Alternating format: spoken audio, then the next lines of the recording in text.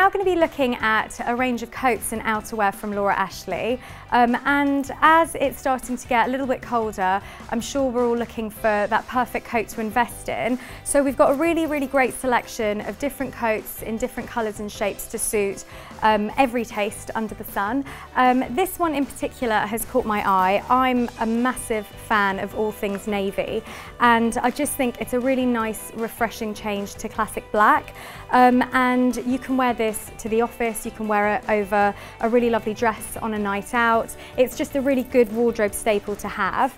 Um, alternatively, if you're looking for something that's a little bit lighter in colour, then these two coats will do just that. They'll look really lovely over pale pastels, greys, um, quite muted colours for that kind of um, understated um, but still sophisticated look. If you want something a little bit more glamorous, um, then this really lovely grey jumper with the sparkly neckline is really great just for knitwear with a bit of a difference and it will look fab underneath something that's also quite pale and muted. If you are a big fan of stripes like me, then you'll probably love this. It's a really gorgeous chunky knit jumper. And again, you can wear this under classic navy or under something a bit more colourful.